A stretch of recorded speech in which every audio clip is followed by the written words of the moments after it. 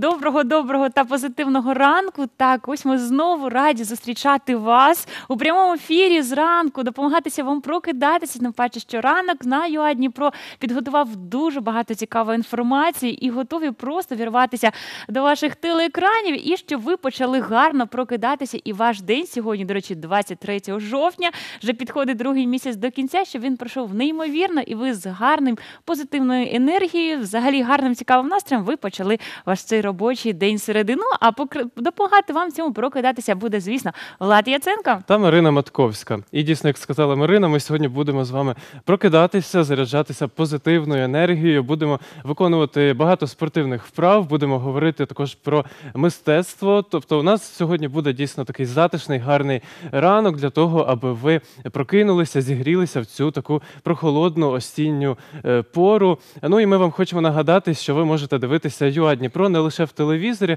а також на нашому сайті DP Суспільне медіа. Там є програми телепередач, архів усіх програм. Якщо ви раптом щось пропустили, е, також є онлайн мовлення, де ви власне можете нас дивитися. Долучайтеся до нашого сайту, слідкуйте за всіма е, нашими актуальними темами, які ми піднімаємо, і будьте ближче з UA Дніпро. Так і ви хочемо нагадати, що сьогодні вже 296-й день за Григоріанським календарем. До нового року залишилося 69 днів.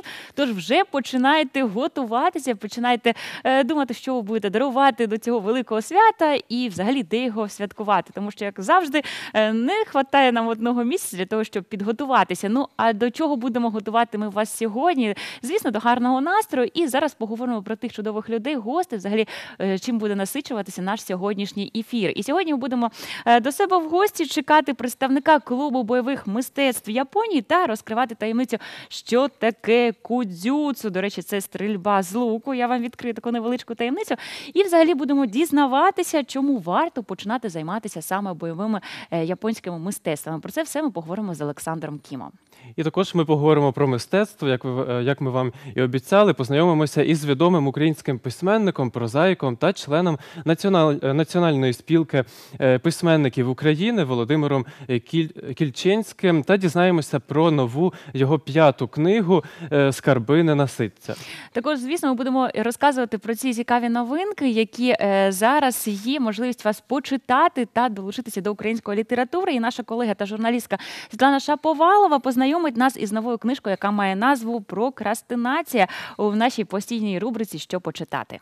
І також з вами будемо опановувати таку от річ, як е, ролики. Будемо пробувати на них кататися в нашій е, рубриці Спортивне місто. Так, Дарина Кучер нас з вами запрошує дізнатися, що відбувалося на Інтерпайп Техфест. Тож обов'язково долучайтеся, будемо дізнаватися про нові технології. І будемо продовжувати подорожувати в нашому ефірі. І поговоримо сьогодні про е, е, розкажемо вам цікаву інформацію про чудове місто Одеса. І разом з рубрикою Як все починалося, будемо з вами продовжувати подорожувати в часі та дізнаватися про перші винаходи цивілізації. Е, і звичайно, ми з вами почнемо удосконалювати знання української мови за допомогою фразеологізмів. І як завжди, переглянемо афішу подій, погоду на сьогодні. Послухаємо українську музику від чудових українських виконавців. Дізнаємося про цікаві події, е, цікаві новинки, які сталися в Україні е, та у світі. І взагалі ми насичено проведемо сьогоднішній ранок, як ми вам і обіцяли. Так, і хочеться вам нагадати, що саме 24 листопада відбудеться дитяче Євробачення 2019 у польському місті Глівіце. Дитячий пісенний конкурс Євробачення це щорічний міжнародний конкурс для дітей віком до 15 років, в якому беруть участь по одному представнику від членів з країн Європейської мовної спілки. І право представляти Україну на 17-му музичному конкурсі у Польщі вибрала наша 13-річна Софія Іванько, яка поїде на е, цей конкурс разом із піснею «The Spirit of Music». І суспільне мовлення презентує музичний відеокліп представниці України Софії Іванько. Тож до вашої уваги на ЮА Дніпро Софія Іванько із піснею «The Spirit of Music». Давайте слухати та підтримувати підтримувати нашу конкурсантку.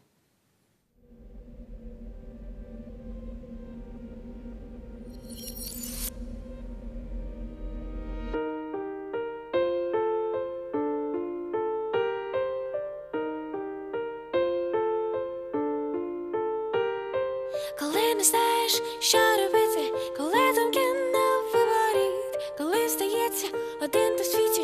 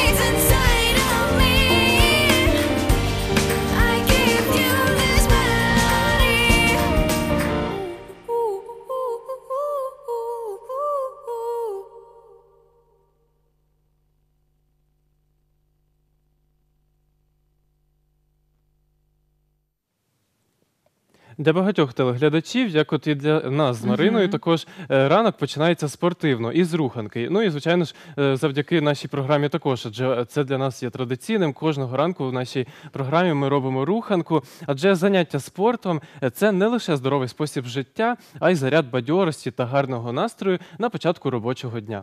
Тобі хочеться запитати зразу тебе е, одразу влади, чи знайомий ти взагалі з різновидами фітнесу і чи був хоч раз у тренажерній залі? Е, Ну от е, напевно, я не зовсім знайомий з різновидами, але в тренажерній е, залі останнім часом буваю. Ось е, останнім часом я записався і пішов е, до тренера на індивідуальні заняття, аби він мені там краще підказував, як же правильно все це виконувати.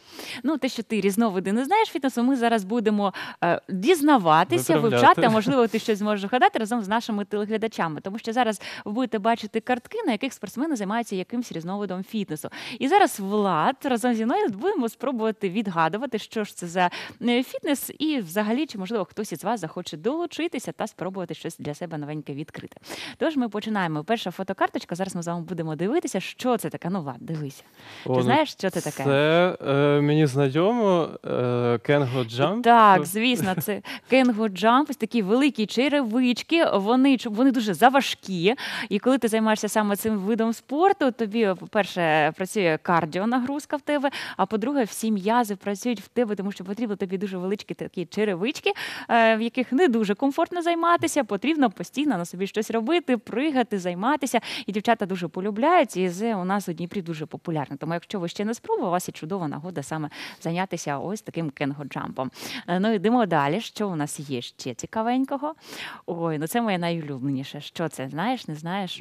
Я підкажу тобі, це флай-йога. Флай-йога. Це, мабуть, де можна повисіти, відпочити, насолодитися. Ну, це для тих, хто любить не активний вид спорту, так, а ось просто розслабитися, насолодитися, потягнутися. Всі після того, як довго е, попрацював на роботі, засидівся, і можна ось так гарно відпочити, насолоджуючись йогою, флай-йогою.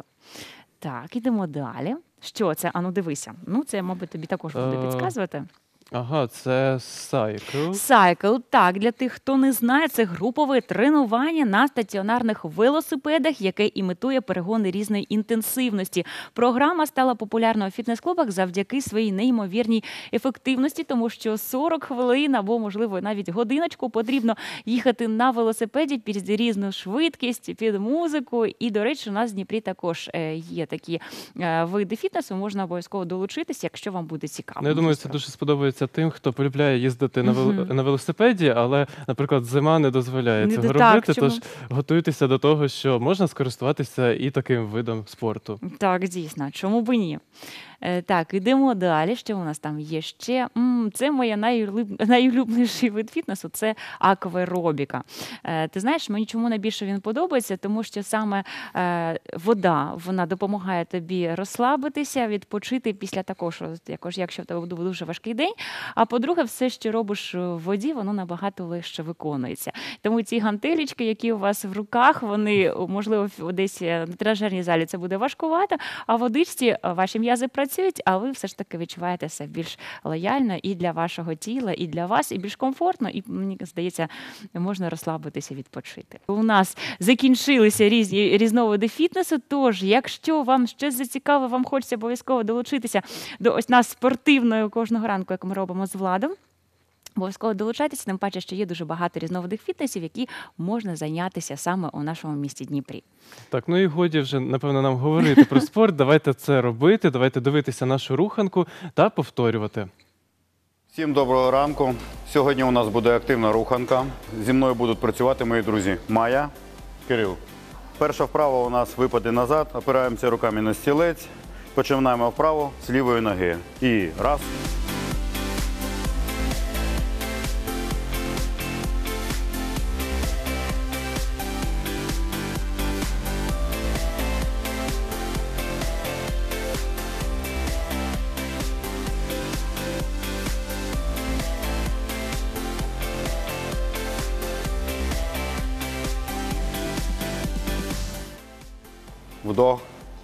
Видох. Вдох, видох.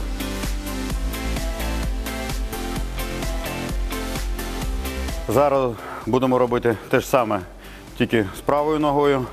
Робимо 10 повторень.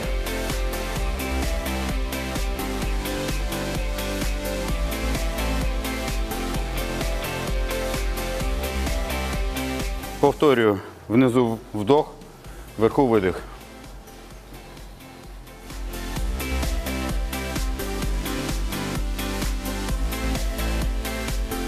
Наступна вправа віджимання від стільця. Робимо цю вправу по 10 разів. Починаємо. Раз, вниз. Оп.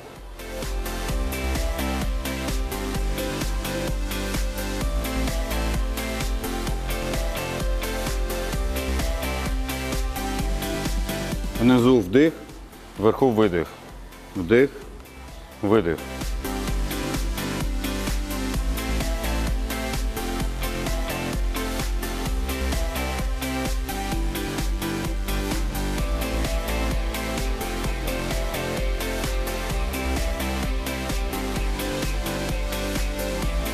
А в наступній праві ми попрацюємо з вами з пресом. Почали? Кирил готов? Ножки вперед. І раз, два, вдих, видих. Вдих, видих. Вдих, видих.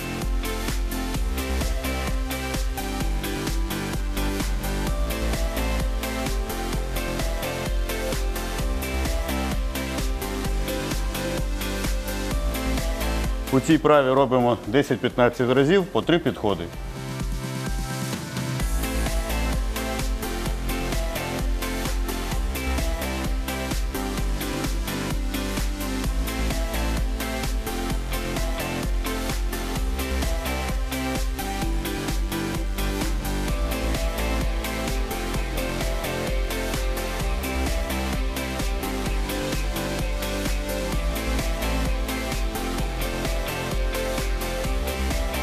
Наступна вправа у нас буде на м'язи ніг. Будемо робити махи в сторони.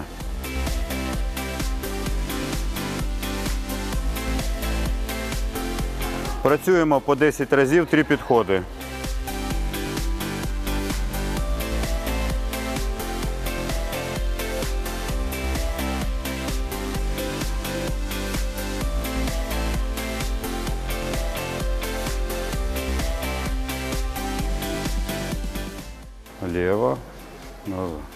Не торопись, Кирил. Цю ж вправу будемо робити зараз на праву ногу. Теж 10 разів по 3 підходи. І остання вправа в нашій руханці стрибки догори.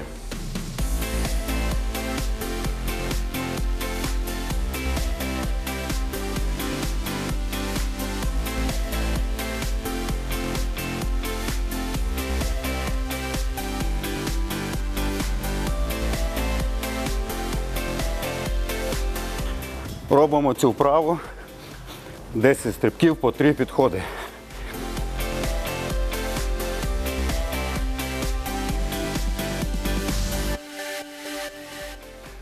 Ми сьогодні гарно попрацювали. Посміхайтесь.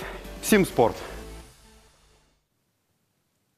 Дійсно, будемо посміхатися та продовжувати цей чудовий ранок. 23 жовтня, середа. І нагадаємо, що на жаль, в Україні сьогодні свят привидів для святкування національних свят немає, але все ж таки є другі привиди у інших країнах. Тож ми будемо вітати сьогодні угорців, адже саме сьогодні вони відзначають день початку революції та визвольної боротьби, та звісно, день проголошення Угорської республіки. Тож ми вас з цим вітаємо.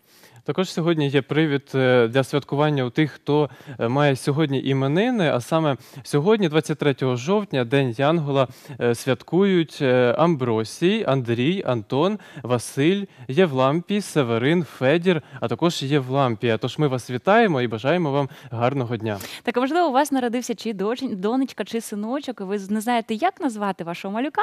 У вас є чудовий привід, тому що імена неймовірні, дуже красиві і дійсно будуть прикрасою е, вашої дитинки. Тож ми вітаємо всіх, у кого сьогодні День Янгола, також, звісно, у тих, хто сьогодні народився. Такий чудовий, ще теплий осінній день, 23 жовтня. Всього вам найкращого, кохання. Нехай у вас буде тільки позитив е, напроти всього вашого такого чудо- чудового нового року, який у вас починається саме сьогодні, 23 жовтня. Тож продовжуємо наш ефір цікавою інформацією і разом із сайтом politeka.net дізнаємося про важливі історичні події, які відбувалися е, цього дня у різні роки е, та мали вплив на історію людства та на нас із вами також.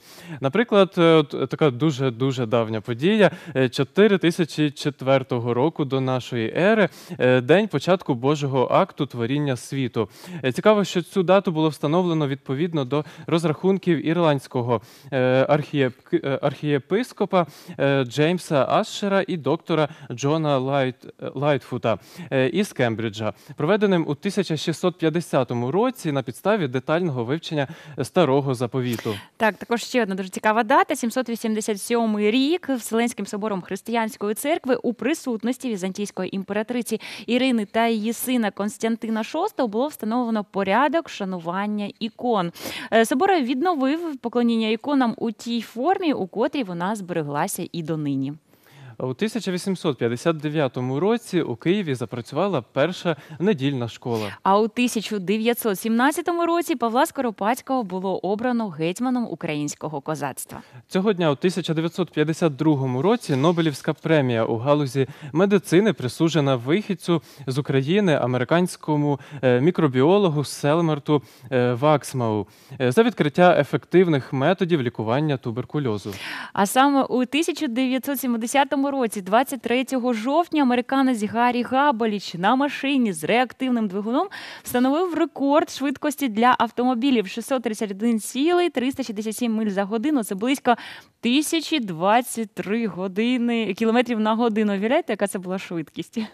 І до таких, е, в принципі, недавніх Мгм. дат 2001 року під гаслом Тисяча пісень у е, вашій кишені Стів Джобс анонсував вихід портативного плеєра iPod із жорстким диском на 5 гігабайтів. Станом на вересень 2007 року їх було продано аж 110 мільйонів штук. Ну і звісно, від цікавих подій хочеться поговорити про тих людей, які, звісно, вплинули на історію або запам'яталися якимись своїми винаходами або е, своїми досягненнями. І першим поговоримо про е, Гертруду Едерлі, яка народилася саме сьогодні, 1906 року. Американська плавчиня, олімпійська чемпіонка літніх Олімпійських ігор 1924 року. Саме Гертруда найбільш відома як перша жінка, що перепливла Ла-Манш 6 серпня 1926 року. П'ять чоловіків до цього здійснювали подібний подвиг, але саме Гертруда відзначилася, тому що е, час її запливу склав 14 годин і 31 е, хвилину. Це майже на 2 години менше, ніж е, минулі рекорди. Молодчиночка. В 1940 році народився е, Пеле, це бразильський е, футболіст, триразовий чемпіон світу, рекордсмен світу із абсолютної кількості забитих голів, е, забитих у міжнародних матчах. І у 1978 році народилася наша україночка, українська веслувальниця Яна Дементєва. Академічне веслування, олімпійська чемпіонка, чемпіонка світу та Європи, ну також заслужений майстер спорту України. Е, У 1989 році народився Андрій Ярмоленко. Це український футболіст, атакувальний, е, атакувальний підзахисник е, збірної України та лондонського Вест Гем Юнайтед. Автор найдовшого на 15 секунді у товариському матчі Україна-Уругвай е, і найпізнішого на 90 е, плюс 7 е, хвилині у матчі України е, Словенії голів у історії збірної. Ну, окрім ось такої цікавої інформації, хочеться, щоб ви не тільки ранок проводили цікаво та гарно, позитивно, а також і вечір впродовж цього дня знали, куди можна сходити з вашими рідними, близькими друзями, куди завітати і щось нового цікавого дізнатися. І саме про це наша наступна рубрика Афіша.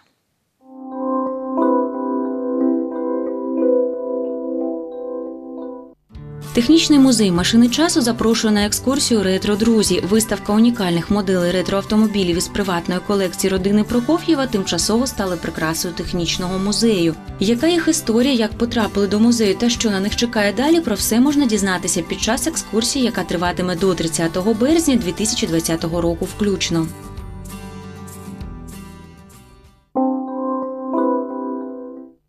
У музеї літературне Придніпров'я проходить виставка робіт з декоративно-прикладного мистецтва за покликом душі Ольги Роткіної, членкині Національної спілки майстрів народного мистецтва України та лауреатки мистецької премії імені Тетяни Пати та її вихованців. На виставці представлено понад 100 авторських ляльок мотанок розміром від 5 см до 1,5 метра з яскраво виявленими етнографічними особливостями, характерними для середньої Надніпрянщини. Виставку можна переглянути до 31 жовтня 2019 року.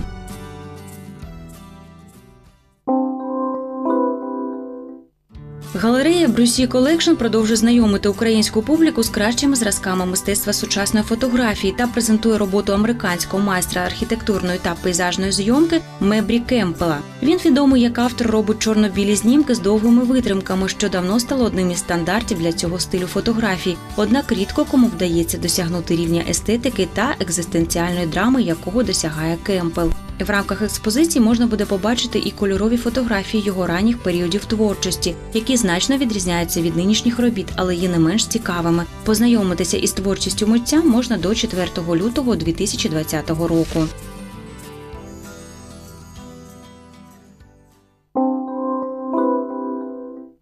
Історичний музей імені Дмитра Яворницького запрошує відвідати виставку Волоському 250, присвячену історії села Волоського, а саме його виникненню, становленню та розвитку. На виставці будуть представлені рідкісні етнографічні та археологічні знахідки села Волоського, які є окрасою колекції Дніпропетровського національного історичного музею. Серед них знамениті волоські сорочки, предмети побуту, знакові археологічні знахідки та церковні старожитності.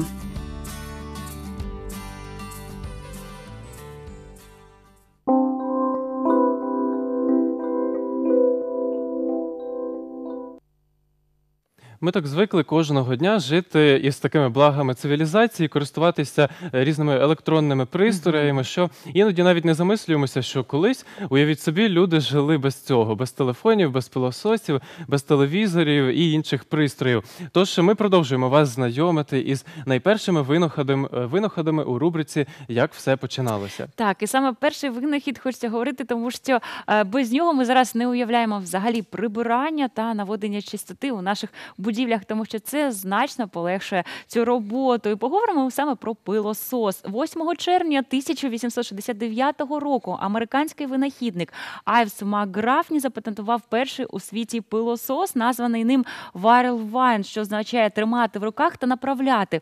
У його верхній частині розташовувалася ручка сполучення рівним приводом з вентилятором. Ручка приводилася в рух рукою. Пилосос був легким і компактним, але незручним в експлуатації вібрації через необхідність е, одночасно крутити ручку та штовхати пристрій підлогою.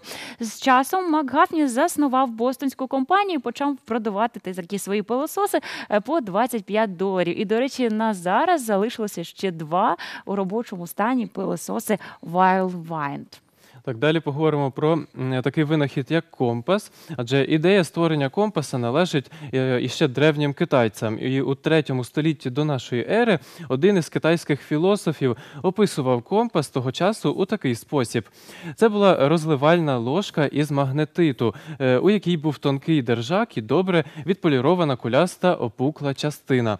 Спиралася ложка своєю опуклою своєю опуклою частиною на таку ж ретельно відполіровану е, поверхню мідної або дерев'яної пластини. При цьому держак пластини не торкався, а вільно висів над нею. Ще один винахід, без якого ми зараз просто не уявля- уявляємо свого життя, це, звісно, е, кулькова ручка. І патент на її винахід був у 1938 році. Одержав угорський хімік Йозеф Біро, що емігрував до Америки. Через кілька років англійці викупили у нього патент і стали випускати кулькові ручки спеціально для льотчиків, тому що вони, на відміну від чорнильних, не текли і на висоті працювали бездоганно. Але все ж таки світові набагато е, відоміше ім'я Джорджа Стефорда Паркера. І зараз ці ручки так є одним з найкращих та, мабуть, найдорожчих у світі. Також далі поговоримо про винахід, без якого е, теж багато людей не уявляє своє життя. Хоча я, наприклад, е, цим не користуюся, бо є тачпад також на ноутбуці. Поговоримо про комп'ютерну мишку. Вперше винайшов комп'ютерний маніпулятор американський вчений Стенфордського інституту. Це Дуглас Енгельбарт. Е, Сталася ця подія на початку 1960-х років. Даний винахідник є лауреатом різних почесних премій в області е, е, винаходів комп'ютерної техніки. Дуглас працював над створенням графічного інтерфейсу для ведення даних на екран у вигляді зображень. Тим самим даний напрямок послужило створенням комп'ютерного маніпулятора, який Енгельбарт запатентував у 1967 році як індикатор XY, е, положення для системи відображення. Також, звісно, ще один приклад, без якого ми також не уявляємо свого життя, і що б ми без нього робили, особливо в холодну погоду. Звісно, це фен. Історія фена бере свій початок у першій половині ХХ століття, 1900 році, завдяки е, дортмундській фірмі Санітас у Німеччині, вірніше її реконструктивному бюро, світ дізнався про новий винахід перший фен. З вигляду конструкції більше вона була схожа на велику концерну банку, у якій була дерев'яна ручка з одного боку і прикріплена сталева трубка з іншого. Дивлячись на прилад, можна було подумати, що це злегка деформована лійка. Розташований усередині конструкції двигун внутрішнього згорання нагрівав сталеву спіраль, а гаряче повітря, яке утворювалось, пропелер видував через сталеву трубку. Що продовжимо, напевно, таку історичну тему і поговоримо про те, е, що говорили наші е, пращури про сьогоднішній день. І от е, народні прикмети, які звідти виникли, зараз ми вам їх розкажемо. За народним календарем 23 жовтня відзначається День пам'яті Євлампії та Євлам... Євлампія. Це брат і сестра, які загинули за свою віру. Е, 23 жовтня селяни кололи поліна на лучини. Е, Їх вважали основним джерелом світла і тепла е, у будинку, порівнюючи із сонцем. Е, Від них запалювали піч та з їхнім світлом робили усі хатні справи. Ну а також, звісно, цього дня е, наші пращури спостерігали за місяцем, за його, тому що його роги погоду передбачали. Якщо роги місяця вказують у той бік, звідти чекати вітру. Якщо роги на північ незабаром зимі бути, і сніг ляже насуха, а на південь скорої зими не чекай, буде сльота до Казанської, тобто до 4 листопада. Ну і також на сьогоднішній день є такі народні прикмети, як е, те, що захід, е, якщо захід сонця червоний, то наступного дня буде вітряно. А якщо в цей день мороз не вдарив, то зима не настане в найближчі чотири тижні. Також листя на вербі почали знизу жовтіти і облітати. Зима буде ранньою. Ну, якщо ви відчуєте вітер зі сходу чи півночі, то це до похолодання. Так, і якою ж буде погода сьогодні? Ми зараз дізнаємося в нашому прогнозі погоди. Погода по Дніпру на 23 жовтня. Вранці температура повітря становитиме 11 градусів тепла. Вдень повітря прогріється до плюс 20 градусів. Та ввечері температура складатиме 14 градусів із позначкою плюс. У Дніпрі протягом усього дня погода буде похмурою, без опадів. Далі про погоду в інших містах Дніпропетровської області. У Кривому Розі вранці температура повітря складатиме плюс 10 градусів. Вдень очікується 21 градус тепла. Та ввечері стовпчики термометрів покажуть 14 градусів із позначкою плюс. В цей день хмар на небі не буде тільки вночі, а зранку до самого вечора у Кривому Розі буде зберігатися похмура погода без опадів. У Кам'янському погода очікується така: вранці температура повітря складатиме 11 градусів тепла. Вдень очікується 20 градусів із плюсом. Та ввечері стовпчики термометрів покажуть 14 градусів із позначкою плюс. У Кам'янському протягом усього дня погода буде похмурою, без опадів.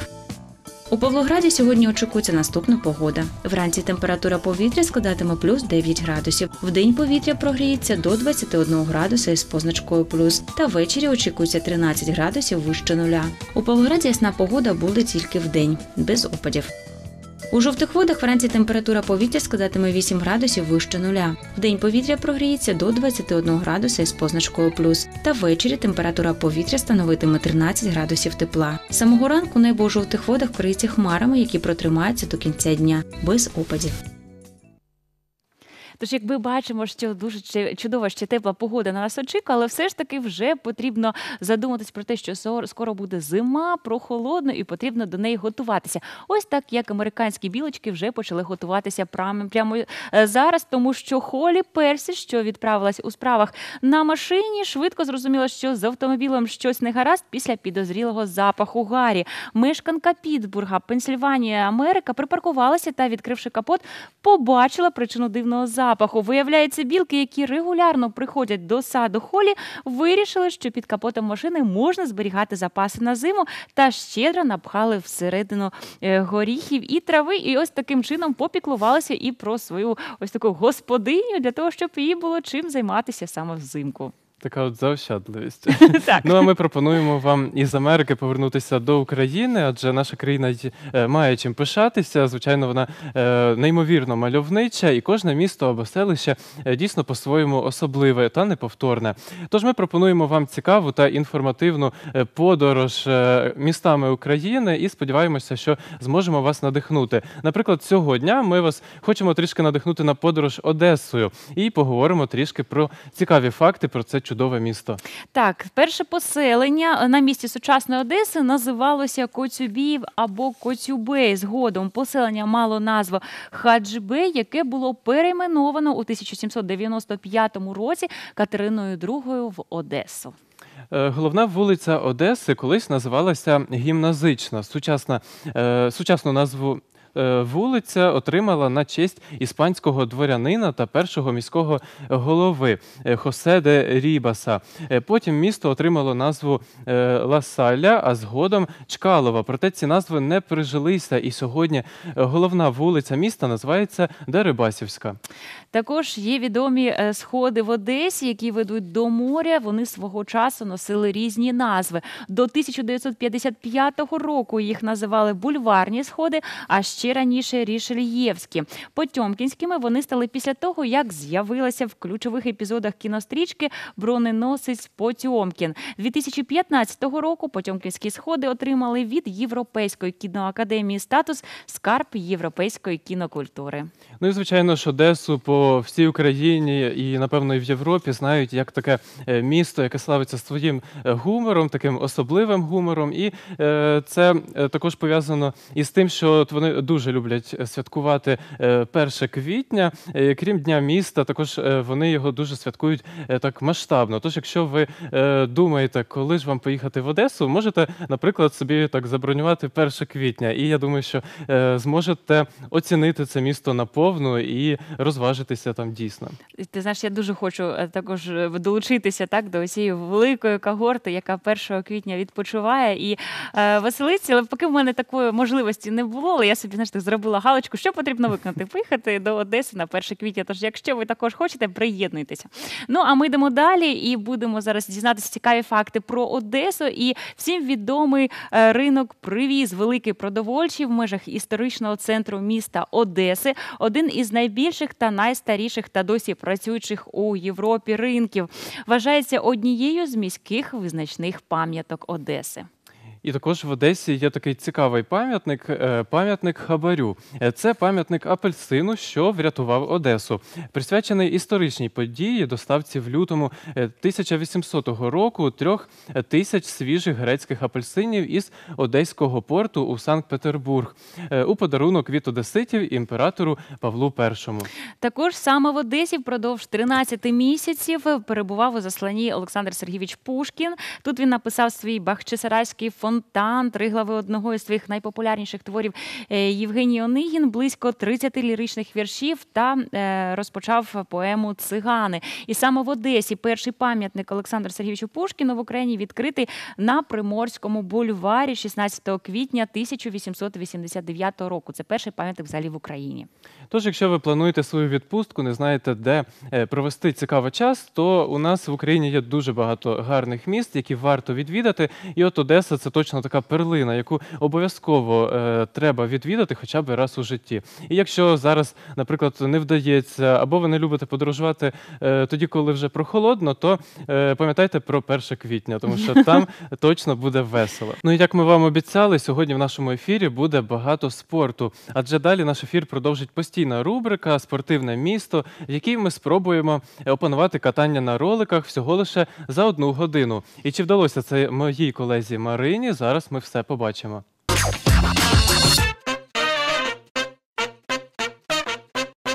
Привіт! В ефірі рубрика Спортивне місто та я її ведуча Марина Матковська. І сьогодні я спробую навчитися кататися на роликах та розібратися у користі роликових ковзанів. Бельгієць Джозеф Мерлін вперше з'явився на роликах на бал маскараді, що викликало неймовірний фурор. Чи зможу я так само легко та безстрашно опанувати ролики? Зараз будемо дізнаватися. І в цьому мені допоможе тренер Олександр Довгополов. Всім привіт!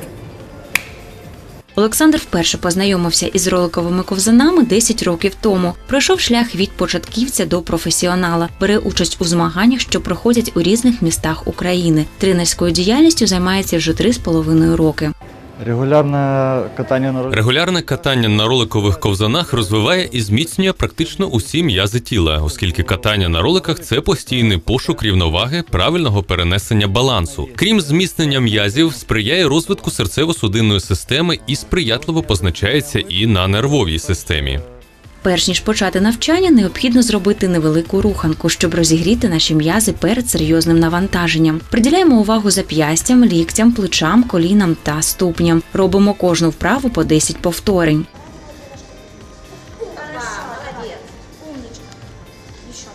Поки я старанно робила руханку, на третє заняття до ролидруму завітав чотирирічний Паша Росоха. Я із захопленням спостерігала за маленьким спортсменом і його вправними та впевненими рухами, тому всі мої переживання щодо знайомства із роликами майже зникли. вставать, падать.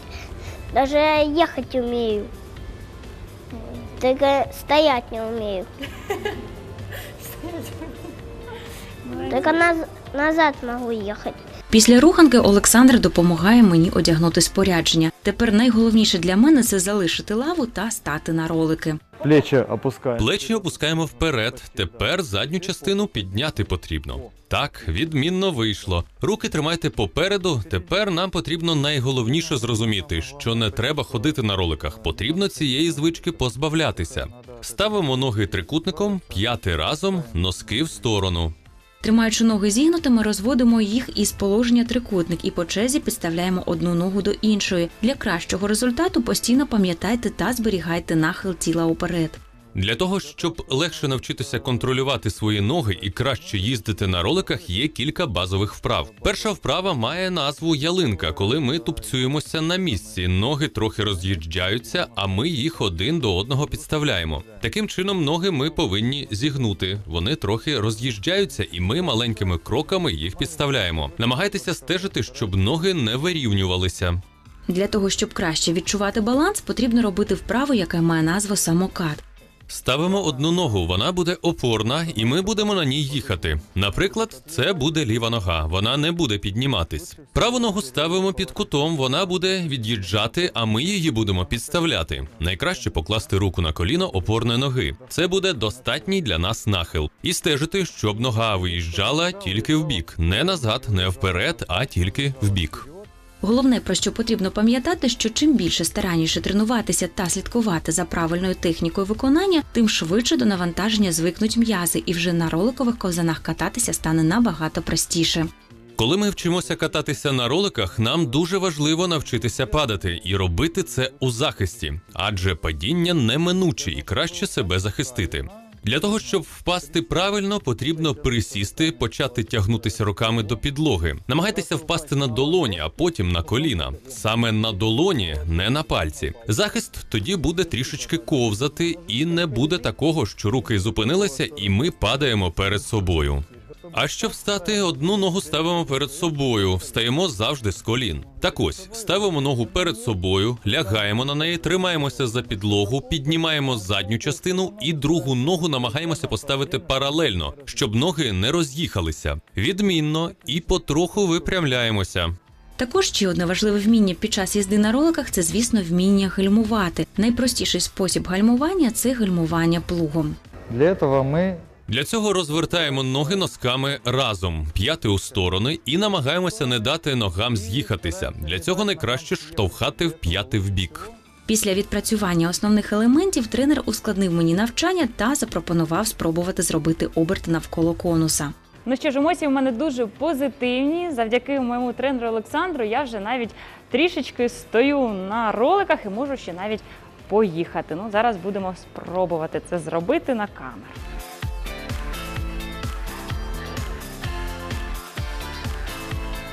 Марина Матковська, Богдан Антоненко та Кирило Полікевич для Суспільного мовника Дніпра.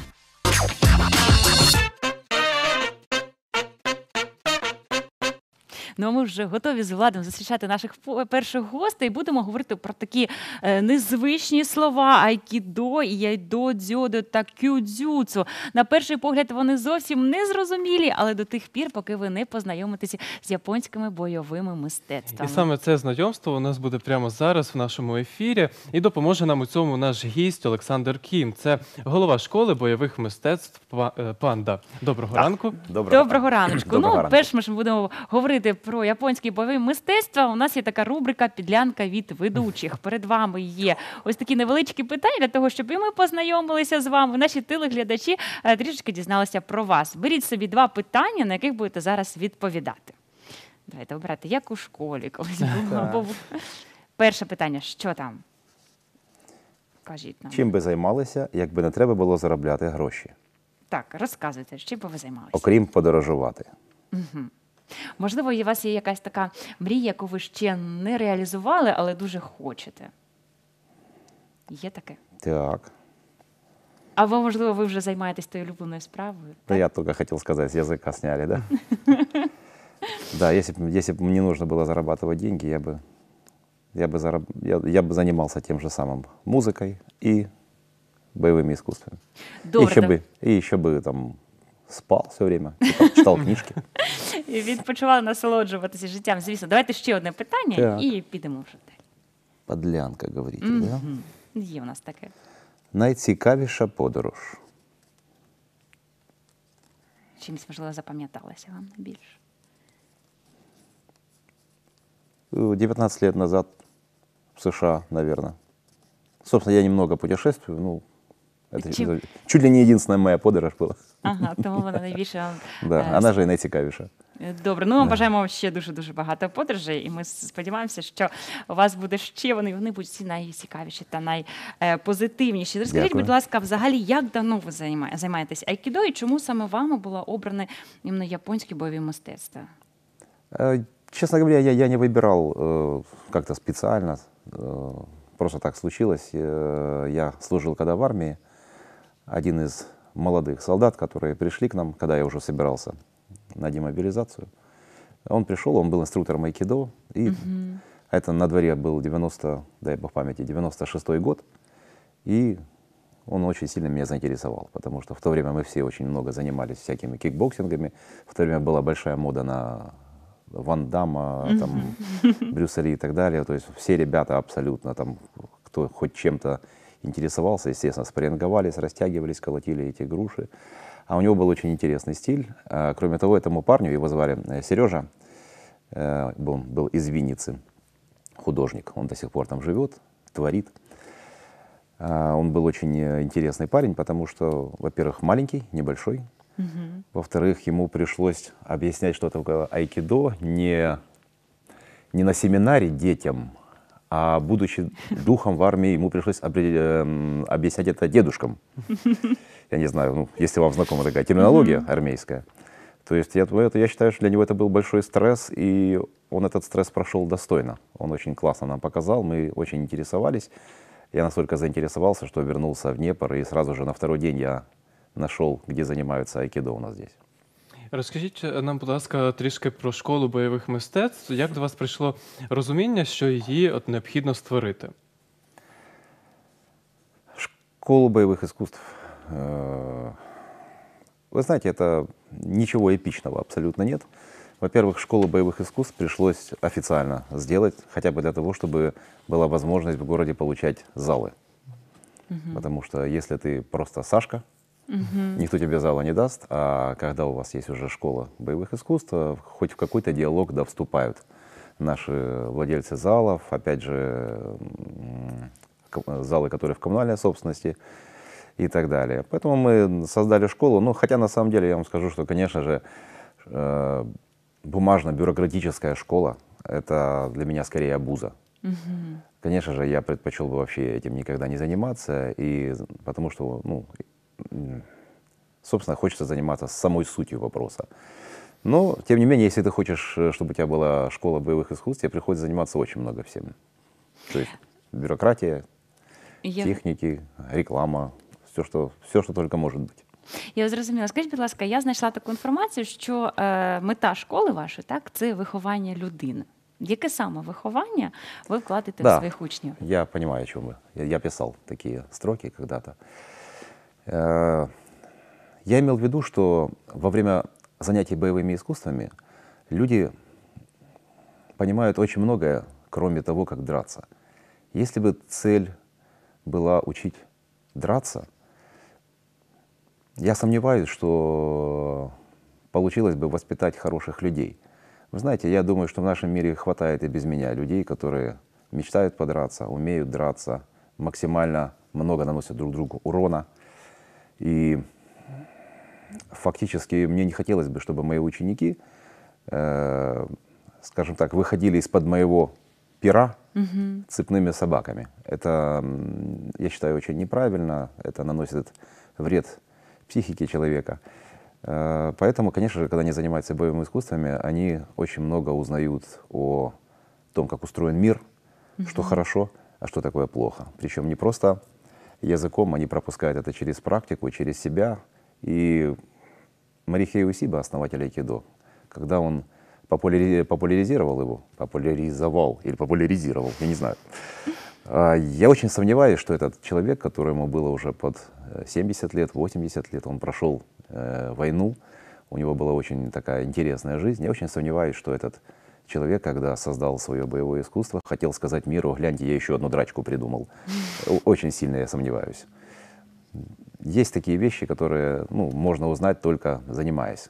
Когда меня кто-то спрашивает, скажи- расскажите мне философскую идею айкидо. Я говорю, знаете, это бесполезно. Я, конечно, очень ловко складываю слова одно в другое, но до тех пор, пока вы не позанимаетесь, если ваше тело это не почувствует, вы просто будете говорить, что ну, молодец, неплохо стелет, молодец, молодец. Язычок подвешен. Поэтому, да, практика плюс правильные мысли, это все складывается в ну- в нужные направления для людей.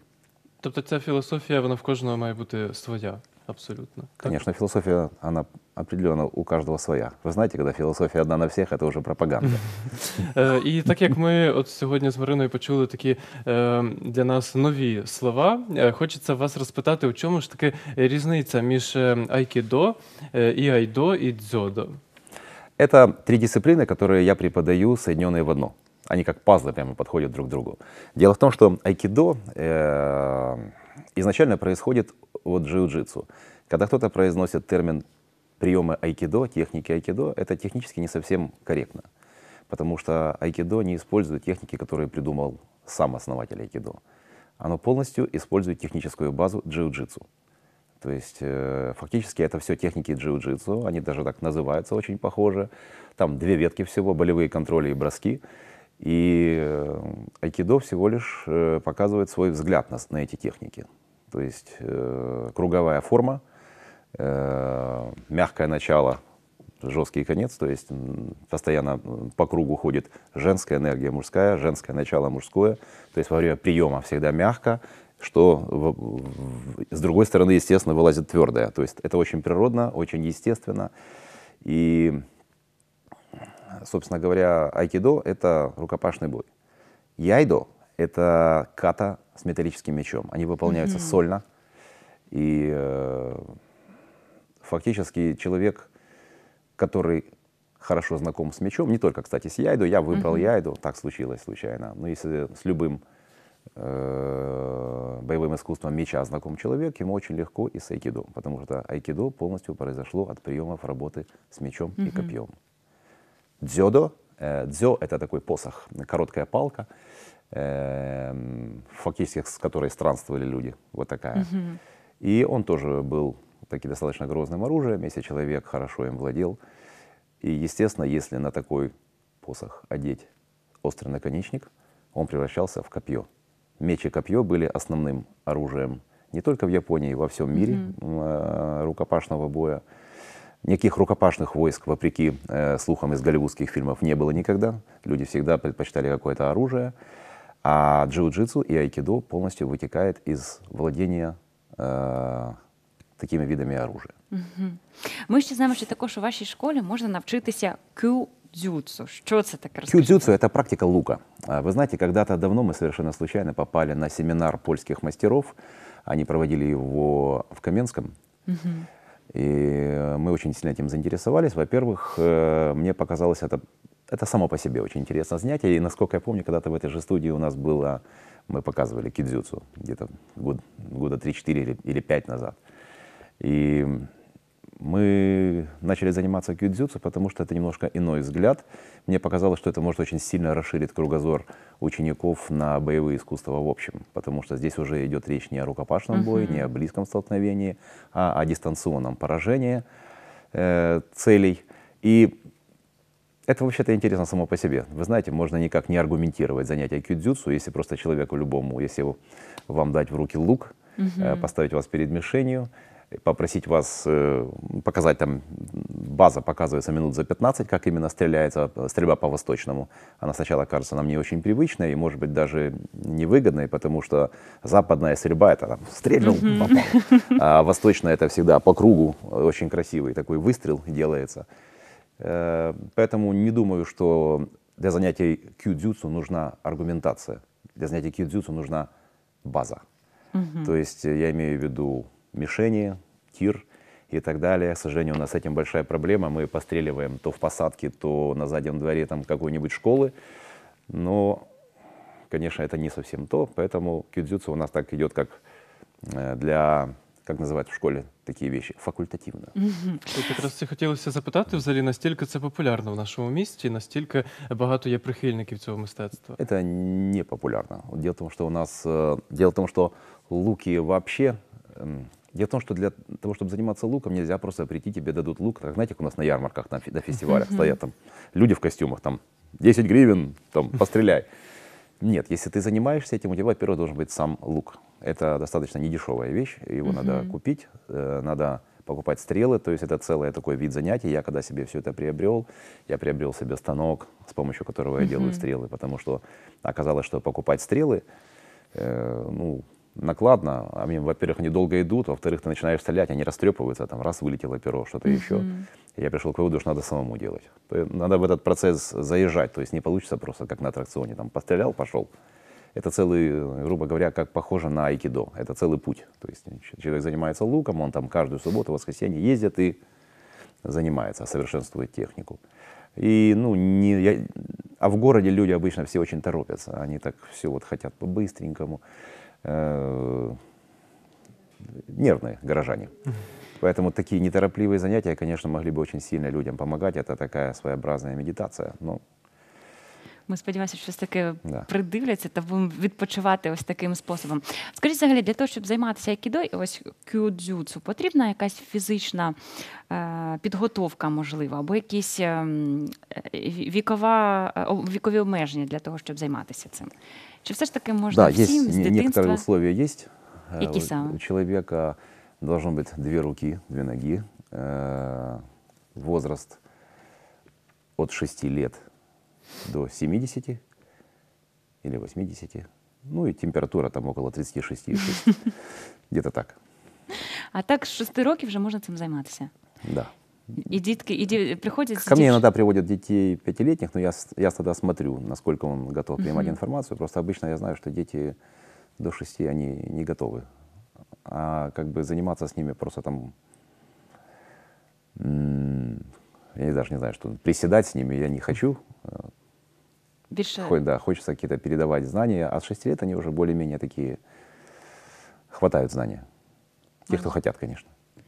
А взагалі, е, к- кого більше? Ну, мабуть, чоловіки все ж таки приходять і жінки займатися, і чоловіки. Якщо приходять жінки, чи е, працюють вони в парі е, з чоловіками, чи все ж таки е, в- жінки з жінками, і чи у вас є учні Не, не, вони не, нет, нет. одинакові? Э, Конечно Як же, це они работают, да. відбувається? Конечно же, они работают без учета пола, потому что, во-первых, э, это полезно, потому что даже с точки зрения утилитарной самообороны маловероятна ситуация, что на женщину нападет женщина. Поэтому, конечно, я говорю на тренировке, когда у меня девочка занимается с кем-то побольше парнем, я говорю, и слава богу, посмотри, как, как- смотри, какой хороший у тебя партнер. Учись на нем работать. Зачем же тебе работать на каком-то слабом? Э, по- с- по теории вероятности, скорее всего, кто-то тебя захочет ударить кто-то, кто больше. То есть не бывает такого, что кто-то маленький говорил, слышь, а ну сюда иди. То есть обычно кто-то, кто больше атакует. Поэтому это очень хорошо. А насчет э, статистики, э, среди взрослых больше мужчин. Примерно, наверное, процентов 70 на 30. Среди детей, что-то мне в последнее время кажется, что Дівчаток більше? да. Я, конечно, не веду такую статистику, но в последнее время что-то какое-то засилие девчонок.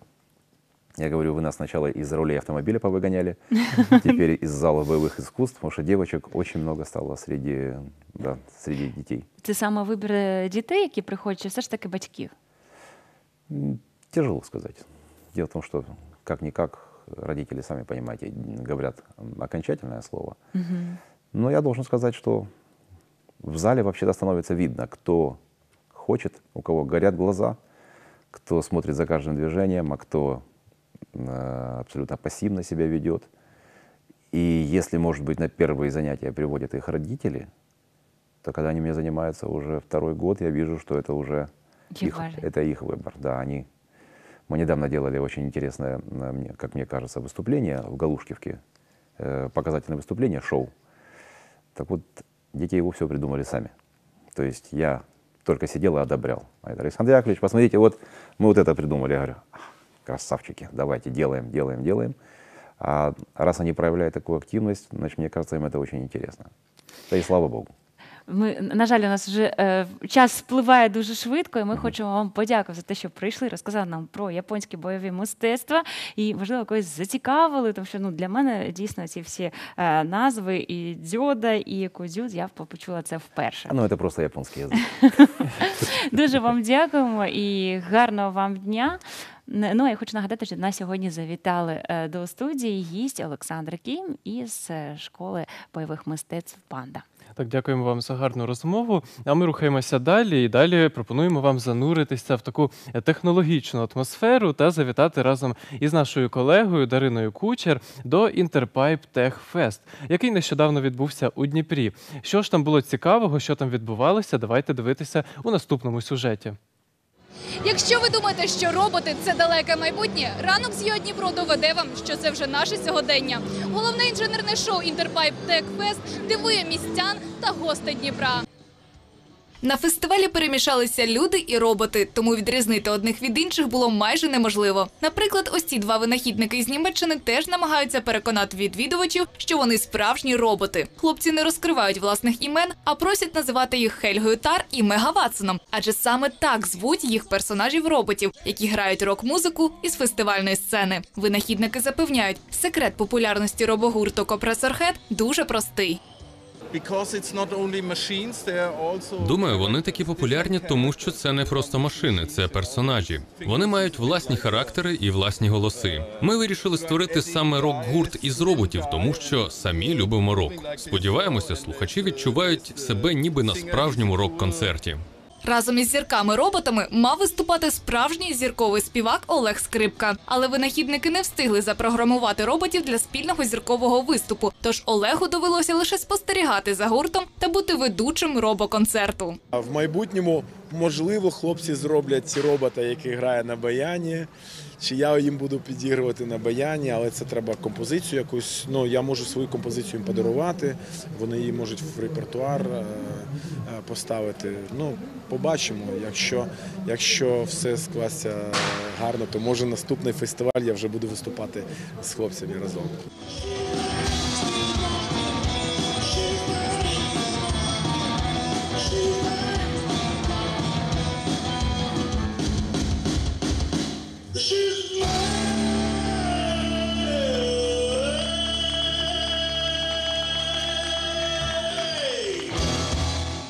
Відвідувачка фестивалю Софія обожнює рок-музику, але такий гурт їй доводиться слухати вперше. Дівчина каже, навряд чи роботам вдасться коли-небудь повністю замінити людей, але в будь-якому випадку це виглядає так, ніби вона потрапила у майбутнє. Мені дуже сподобалося. Це незвичний виступ, але це щось нове, цікаве, нетипове, але мені дуже сподобалося, і я хочу подивитися піти ще раз, і може навіть ще раз ввечері. На фестивалі кожен може знайти для себе щось цікаве. І дорослі, і діти однаково радіють хімічним дослідам, виступам роботів і різним інтерактивним цікавинкам. Правда? Так. Давай. Запускаємо. Уху! За величезним натовпом важко побачити, що відбувається на чудернацьких різнокольорових столах. Якщо придивитися уважно, то можна помітити механізми, які сконструював дніпровський винахідник Ігор Кочет. Ці механізми схожі на машину Голдберга, пристрій, який виконує дуже просту дію надзвичайно складним чином. Зазвичай за допомогою довгої послідовності взаємодій за принципом доміно. Ігор розповідає, для своєї машини навмисно використовував найпростіші елементи. Хотелось показать вот людям, да, что можно... Хотілося показати людям, що навіть з підручних матеріалів, які є на кухні, можна зробити такий механізм і розважитися. Кожна сім'я може зібратися вдома і щось подібне сконструювати. поконструировать и сделать. За два дні технофестивалю його відвідали сотні людей, серед яких як дорослі, так і діти. І хто знає, можливо, саме цей захід надихне маленьких відвідувачів стати справжніми винахідниками. Дарина Кучер, Богдан Антоненко, Кирило Полікевич для ЮА Дніпро. Ну, ми хочемо розказати про нашого спортсмена, нашого е, чудового е, чемпіона, який став, до речі, чемпіоном світу з кікбоксингу. Е, дніпрянин Артур Галаян. Йдеться на сайті Дніпровської міської ради. У Польщі нещодавно завершився чемпіонат світу з кікбоксингу е, ВКА. У змаганнях взяли участь понад дві тисячі спортсменів із 41 країни. Тренер Дніпровського дитячо-юнацького центру штурм Артур Галаян став чемпіоном світу в розділі К1. Тож вітаємо спортсмена з таким високим результатом. Так, вітаємо нашого спортсмена і бажаємо ще більше і більше більше перемог. Переносьте нам перемоги та приходьте до нас у студію ділитися своїми секретами е, спортивних успіхів. Е, Що ж, рухаємося далі і е, поговоримо про те, про прокрастинацію. Взагалі трішки дізнаємося. Для того, щоб знайти рішення на важливе питання, іноді достатньо просто прочитати от потрібну книгу. І сьогодні у спеціальній рубриці Що почитати ми поговоримо про книжку, яка так і називається Прокрастинація Е, відомих психологів е, Джейн Бурка та Ленори Юен, яка стане ефективним е, порадником із і рекомендаціями, і допоможе нам взагалі взятися до справи, оминаючи перешкоди прокрастинації, або врешті успішно долати особистий шлях до психологічного зростання та до успіху. Тож давайте дивитися нашу рубрику, що почитати, та дізнаватися, як же долати прокрастинацію. Мої вітання усім. З вами ваша улюблена рубрика Що почитати. Сьогодні порекомендуємо книгу для дорослої аудиторії. Звернемось до серйозної теми прокрастинації. І детальніше про цю книжку розкаже Богдан Кулик. Дійсно, от дуже така е, актуальна тема прокрастинація. І взагалі, чесно, коли я взяв першу цю книгу, думаю, о, нарешті про неї написала книгу про цю проблему. Так, нарешті ми про неї дізнаємось з наукової точки зору. Відкрив, почитав там буквально перші сторінки, умовно кажучи, і зрозумів, що вибачте, але ця проблема ще з античності йде, і ще з античності її розглядали і цікавились, як з нею боротись, і яке коріння дійсно прокрастинації. А взагалі варто зазначити, що книга дуже актуальна, вона показує е, проблеми нашого життя і те, що прокрастинація, яке взагалі слово означає відкладання на завтра. е, це є не лише чимось негативним. Доволі часто це є якимось таким запобіжником нашого перепрацювання і, і протистоянням організму від того, що ми занадто багато працюємо і не даємо йому нормально відпочити. Це одна з е, таких основних моментів, чого ми починаємо прокрастинувати. Але разом з тим є ще моменти того, що прокрастинація це дійсно наша лінь з вами, коли ми не хочемо щось робити. Е, І як з цим боротися, якраз розповідається в цій книзі. Також варто зазначити, що е, книга вона побудована так, що е, перш ніж нарікати на себе за те, що я нічого не встигаю, е, автори пропонують зупинитися і обдумати, що нас спонукає до того, щоб ми відкладали на завтра. Наприклад, однією з таких доволі цікавих механізмів, які тут описані, і вони будуть цікаві дійсно не лише тим, хто е, намагається зробити так, щоб менше прокрастинувати самому, а й певним управлінцям в бізнесі. Це можуть бути менеджери або власники компаній, коли, наприклад, зазначено, що зазвичай на роботі прокрастинують тоді, коли людина не знає. Чому вона має саме це робити? Тобто хтось може з менеджерів розуміти, чому треба виконати ось цей обсяг роботи, не пояснивши достатньо так е, людині, яка має виконувати цю роботу, е, скинувши на неї е, ці обов'язки, людина буде не розуміти, на що вона робить з її точки зору таку дурну роботу, і вона буде прокрастинувати і робити її набагато довше і з меншою ефективністю. Відповідно, ця книга якраз показує, що е, як вийти з е, таких ситуацій, пояснити іншій людині, або ж е, це певні ситуації в нашому житті, коли ми не можемо розставити правильно пріоритети, і таким чином прокрастинуємо, тому що намагаємось зробити те, що для нас є насправді не зовсім важливим. І також один із основних принципів це треба розставити пріоритети. Але всі поради цієї книги розказати буде занадто складно. Просто хочу ще раз заакцентувати увагу на її ґрунтовності в підході, тобто це і історичний зріст того, як розвивались погляди на прокрастинацію, і сучасні підходи до того, як зробити так, щоб життя дійсно було ефективне, і ми кожного дня робили ті речі, які будуть допомагати нам йти до своєї цілі. Тож рекомендуємо вам максимально ефективно використовувати час у вашому житті. Рекомендуємо почитати. Ну, ми продовжимо вас знайомити з нашими творчими гостями, які завітали сьогодні до нашої студії. І зараз будемо знайомитися з членом Національної спілки письменників України з 2017 року, лауреатом літературних премій імені Чабанівського, імені Кравченко та переможцем обласного патріотичного літературного конкурсу імені Підмогильного.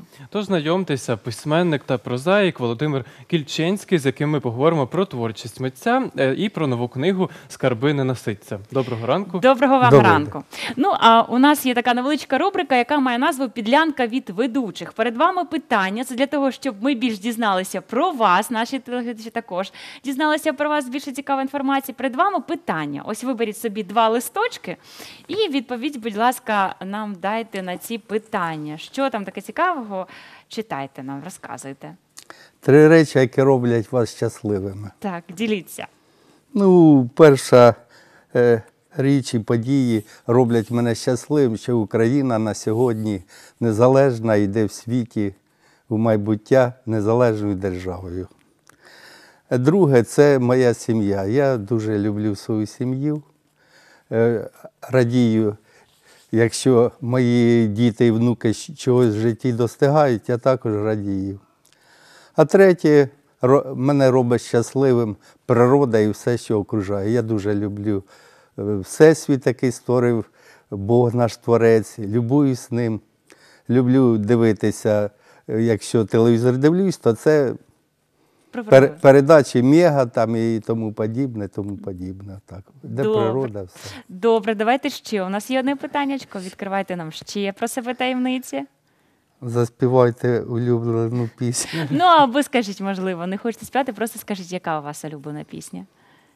Ну, я народився у е, багатодітній родині, і четверта дитина у батьків моїх. Я і дуже радий, що вони мене народили в тяжкі роки післявоєнні. І тому я люблю пісню е, Рідна мати моя. Про маму. Так, дійсно, дуже вам дякуємо. Ну, а тепер хочеться саме поговорити про вашу творчість, про ті книги, які ви пишете. І взагалі, е, ми знаємо, що у минулому ви були пілотом. Ось зараз ви пишете ось такі неймовірні книжки. Розкажіть, чи коли ще, е, коли ви були пілотом, так займалися такою справою? Чи були у вас е, мрії, що ви будете колись писати, взагалі думки, що ви будете, чи ви вже тоді почали писати? Е, Таких е, мрій не було, коли я працював пілотом. Е, Якщо я працював пілотом, і мої, мої так сказати, мозги були загружені авіацією, повністю і цілком. Тому що авіація це відповідальна робота, це пов'язано з безпекою не тільки особистою, а людей, літального апарата. І тому я за це мало думав, але читав книги, любив читати після польотів е, і в вільний час книги, ну особливо історичні. Дуже любив історичні книги, щоб узнати більше, особливо як Україна стала самостійною державою. Можна було багато узнати такого, що при Радянському Союзі ми такого не знали і не друкувалося. От е, цікава інформація, що е, справжнє ім'я нашого сьогоднішнього гостя це Володимир Андрійович Гузенко, а Кільченський це е, ваш псевдонім. Розкажіть, будь ласка, чому ви вирішили його для себе обрати? Чому саме такий псевдонім? Е, Я народився недалеко від міста, це 20 кілометрів десь, і там протікає річка Кільчень. Хата батьківська стояла недалеко від річки. Потім узяв собі дружину, яка жила прямо побіля річки 20 метрів.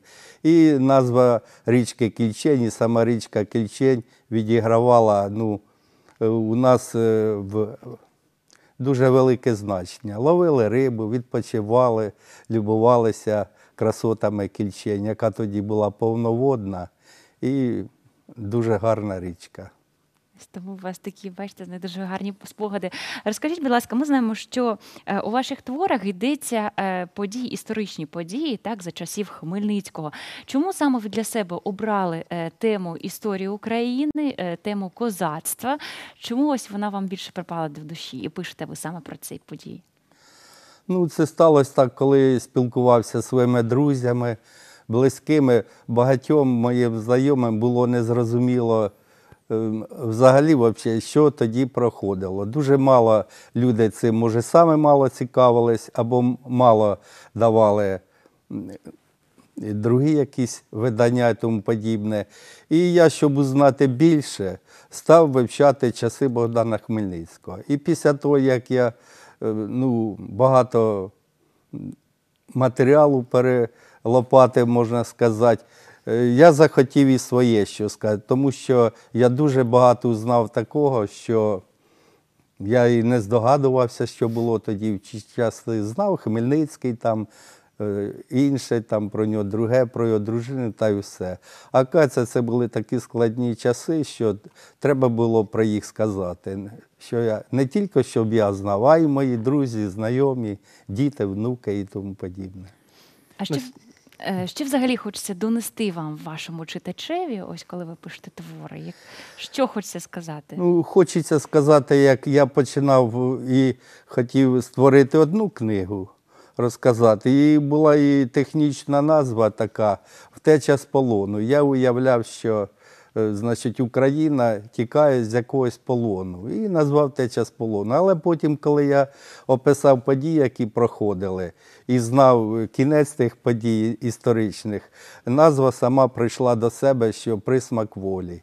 Українці тільки спробували волі, але її не дочекалися і знову попали під е, другого окупанта, можна сказати, і тих, ту країну, яка потім 300 років тримала нас за вузди, не давала розвиватися самостійно. А тож ви випередили моє запитання стосовно назви, чому саме присмак волі, а не от повноцінно воля. Е, розкажіть трішки нам більше про цю книжку. Настільки ми знаємо, то присмак волі це ваша перша книга, правильно? Перша книжка це герой, який із Дніпропетровщини, конкретно з Новомосковщини. Я народився на Новомосковщині, і мені захотілося, щоб мій герой був звідти. Я вибрав село на Присамарщині і повів свого героя спочатку на Січ, потім повів його.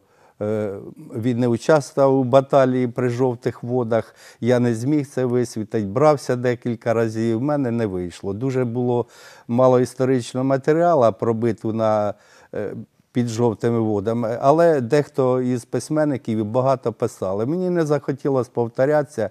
Я своїх героїв повів туди, де були битви, про які взагалі мало хто знає, і мало за них писалось навіть в історичних матеріалах.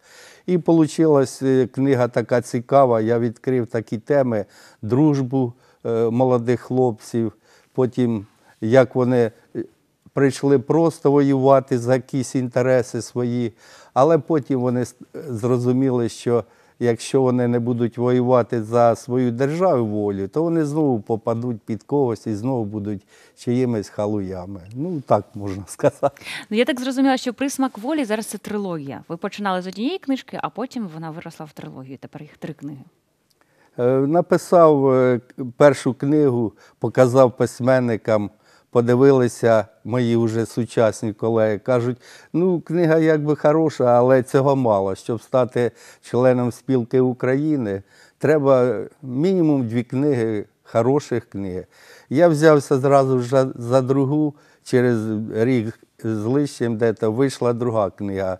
Тобто я продовжив Мгм. події часів Богдана Хмельницького. Мої герої стали вже старшими, більше розумілись, більш войовничими і е, завоювали деякі вже стали сотниками і, тоді подібне.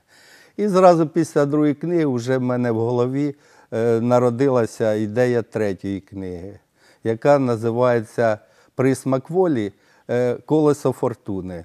І тут я відкрив такі часи і битви взагалі, що якщо хтось читає мої книги, говорять, що ми не чули, що була така битва. Але говорю, це історія, звертайтесь.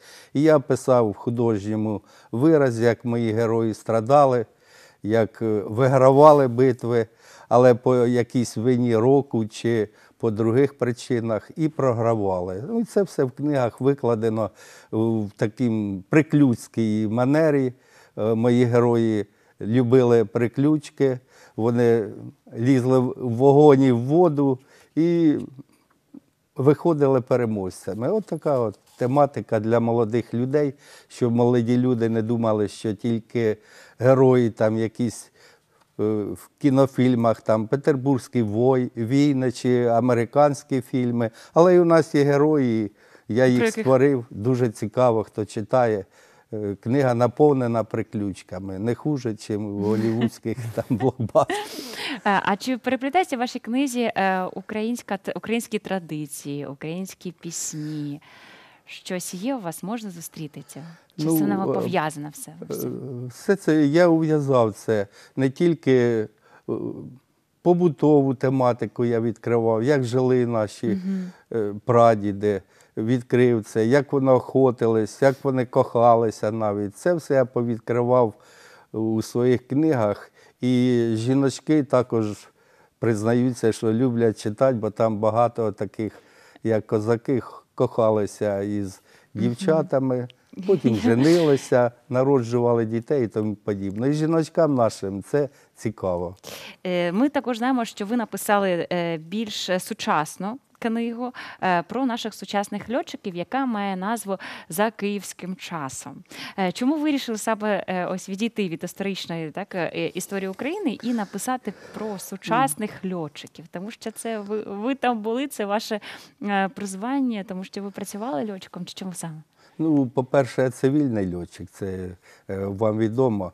Але цивільна авіація пройшла свій шлях окремо від військової авіації. Мені захотілося, ознайомившись із е, полком, який у Балаклаві базувався, а потім із цього авіаційного полка е, не залишилось нічого. Його повністю захватили росіяни, і частину літаків перевозили вже, кажуть, кусками желіза, перевозили на нашу сторону по ініціативі більше льотчиків, авіатехніків, всього персоналу, е, командира цього полку вивозили на нашу територію. Як це достигнуть? Удалося. Ну, Для мене навіть загадка. Але я описав так, як я думав, як удалося достигнути. І описав ці події, взяв також хлопця нашого, е, тоді Дніпропетровського, який хотів був льотчиком, який учився в Харкові, але потім Харківське училище, ну якби зазнало, я б сказав, з авіаційної точки зору, навіть аварії чи катастрофи, що е, льотчиків випускали недоучками. Мгм. Давали їм звання, але не давали їм літати. А льотчик, який літав тільки теоретично, е, він не може літати ну, у другій системі, тим більше бути захисником нашого неба. І я перипетії цього хлопця, який зараз живий, він десь є, не знаю, де зараз, чесно вам скажу. Але по історії цього хлопця я створив книгу. Ну, звичайно, дещо прикрасив. Е, Він закохався також. Це така гарна тема. Закохався у дівчину, яку звуть Сусана. Вона напівтатарського походження. І описую перипетії в Криму, які відбувалися. Потім, уже як мій герой е, Сергій Капля попав е, уже в Україну материкову, він став бійцем повітряного флоту України і захищав землю вже на літаку. І він сміливий льотчик, настоящий захисник нашої батьківщини. Ну, от така тема патріотична. Патріотична Такі- і також і така а, пройнята. на- а називається, коханням. мо- скажу е, вам так, за київським часом тому, що я показав поділ людей, які прийняли російський світ, які не прийняли. І так же було в армії, і це дуже було замітно. Деякі е, офіцери, льотчики попереходили е, на сторону, можна сказати, окупанта. А деякі пішли додому на, на свою рідну матінку Україну. І тому за київським часом вони вибрали київський час, а не московський. Стали жити в київському часі. Я зрозуміла. Ну, взагалі, бачимо, що ваші книги вони Марін, наповнені також родиною, коханням, любов'ю, все ще так важливо так, для кожного з нас. І ми знаємо, що у вас ще ось незабаром вийде п'ята книга. Вона має назву Скарби не наситься. Що сам що за скарби? Про що буде йти мова в цій книжці? Е, Книга Скарби не наситься задуман, задумана е, років зо три на, назад. І така виявилась для мене непосильною, що я її писав три е, ну, лишнім роки. роки. І боровся, і мучився, і страдав. Але у цьому році я її закінчив. Зараз опрацьовую і думаю, що десь весною вона вже вийде таким примірником гарненьким, і люди узнають, Чому? про що ця книга. А ви не хочете розкривати Ну, таємниці? розкрив, вже книга написана, можу сказати. Про що вона і чому так довго, три роки, вона ось так важко давалася? Про що? Там якісь були дуже важливі історичні дані, чи дуже Е, Було багато? мало А, історичних даних, і мені приходилось їх довго шукати. Потім робити аналіз, потім треба ж було створювати е, живих героїв, бо вона художній твір. От, і тому, значить, а коротко за що я писав, значить, е, герой, який з Черкащини родом, залишився без батька і матері. В ті часи це після Хмельниччини.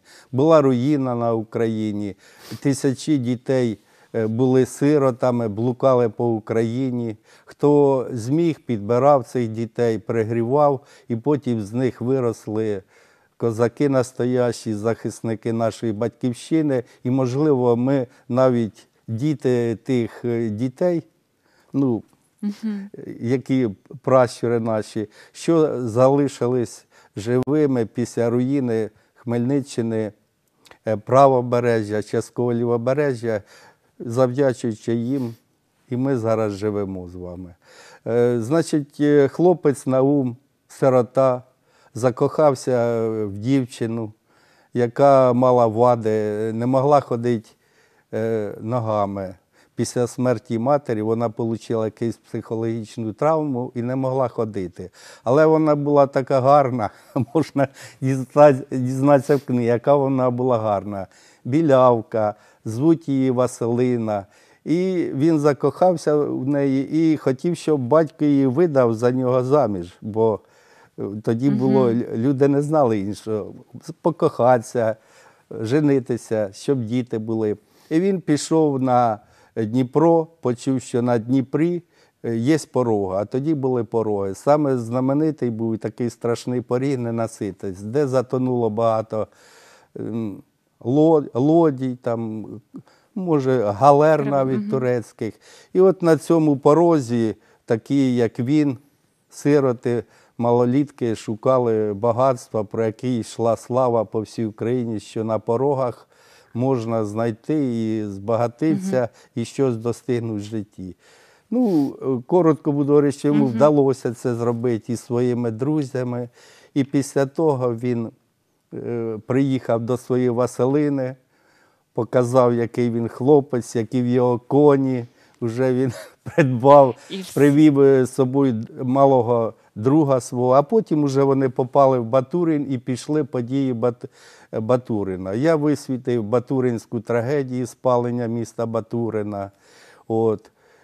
І, І дуже- і дуже бо, бо за- це також мало людей знають, що. Батурин е, князем Меншиковим у війні 1709 року спалив це місто і повністю були вбиті люди, які там були, за те, що вони не, не підкорялися, їх просто вбило від малого до великого. Місто спалили і зруйнували майже до основи. Отак. Дуже вам дякуємо, Да. тому що всі ось будемо чекати з нетерпінням вашої книги. Сподіваюся, що ми вас зацікавили. І наші телеглядачі також захочуть познайомитися з вашою творчістю, взагалі з книжками, які ось будуть е, виходити. На жаль, у нас вже підходить час до завершення. Ми будемо з вами прощатися. Я хочу нагадати, що до нас сьогодні до студії завітав відомий український письменник Володимир Кільченський. Дуже вам Дякуємо вам за гарну розмову. І е, книги потрібно читати. Можна про них говорити дуже багато, але обов'язково їх читайте. Ну а далі наш ефір продовжує саме погода, тому що потрібно обов'язково знати, як сьогодні вам одягатися для того, щоб піти на роботу. Погода далі в нашому ефірі. Погода по Дніпру на 23 жовтня. Вранці температура повітря становитиме 11 градусів тепла. Вдень повітря прогріється до плюс 20 градусів. Та ввечері температура складатиме 14 градусів із позначкою плюс. У Дніпрі протягом усього дня погода буде похмурою, без опадів. Далі про погоду в інших містах Дніпропетровської області. У Кривому Розі вранці температура повітря складатиме плюс 10 градусів. Вдень очікується 21 градус тепла. Та ввечері стовпчики термометрів покажуть 14 градусів із позначкою плюс. В цей день хмар на небі не буде тільки вночі, а зранку до самого вечора у Кривому Розі буде зберігатися похмура погода без опадів. У Кам'янському погода очікується така: вранці температура повітря складатиме 11 градусів тепла. Вдень очікується 20 градусів із плюсом. Та ввечері стовпчики термометрів покажуть 14 градусів із позначкою плюс. У Кам'янському протягом усього дня погода буде похмурою, без опадів. У Павлограді сьогодні очікується наступна погода. Вранці температура повітря складатиме плюс 9 градусів. Вдень повітря прогріється до 21 градуса із позначкою плюс. Та ввечері очікується 13 градусів вище нуля. У Павлограді ясна погода буде тільки вдень, без опадів.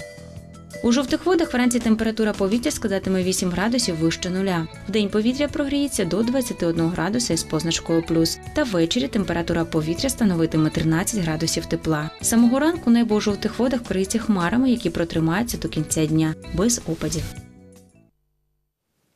А у Японії, виявляється, запустили новий тренд на сумки комахи. Художник з Японії Аманодзяко Хесомагарі запустив новий модний тренд, який стає все більш популярним у світі. Шкіряні сумки у вигляді лякаючих та страхітливих комах. Художник розповів, що намагається реабілітувати комах, яких люди так часто ненавидять, навіть не спробувавши розглянути їх природню красу. І крім комах, художник також шиє сумки е, і у вигляді найрізноманітніших тварин, але е, особливим інтересом користується саме серія комах. Е, Аманодзяку часто звертається за допомогою до фотографів, які надають йому знімки найдивовижніших істот нашої планети. Шанувальники таланту майстра впевнені, що аксесуари, на виготовлення яких художник витрачає від трьох днів до трьох тиждень, здатний відразу зцілити людину від боязні комах. Ну а як виявляється, що подорожувати люблять не тільки е, хазяїва домашніх улюбленців, а й самі улюбленці. І роблять це інколи так, щоб ніхто про це не дізнався. Подружжя випадково взяла кота з собою у відпустку. Правда, розкрилася це лише в аеропорту. У Нью-Йоркському аеропорту е, острова Мен в Америці стався курйозний інцидент. Співробітники при огляді пасажирів виявили кота у валізі подружньої пари Ніка та Вуарі Кул. Про це повідомляє Manchester Evening News. Виявилося, що домашня тваринка пари проникла у валізу ручної поклажі, коли сім'я збирала речі. Кенді любить сидіти у закритих просторах, тому завжди ховається в сумках та коробках, пояснив чоловік Нік. Ну і коли все з'ясувалося, співробітники аеропорту поставилися до інциденту, звичайно ж із гумором, і відпустили пасажирів разом із кішкою. Е, Крім того, подружжя допомогло організувати трансфер до будинку, е, щоб вони залишили там тварину. Е, Поверну, повернулися в аеропорт і встигли на свій рейс. Ось така цікава інформація. Ми з вами сьогодні ділилися. Ми сподіваємося, що ми наситили вас позитивом. І цей ранок, середи 23 жовтня, ви пр- ви проводили разом з нами. Ну, ми обов'язково зустрінемося. Сьогодні з вами були в'яти Влад Яценко та Марина Матковська. До зустрічі.